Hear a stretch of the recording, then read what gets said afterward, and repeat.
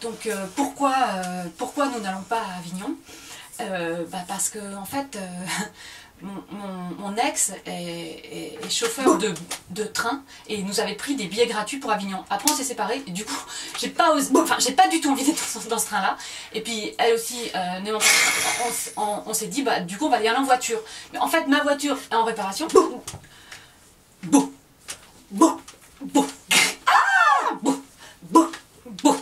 Ah,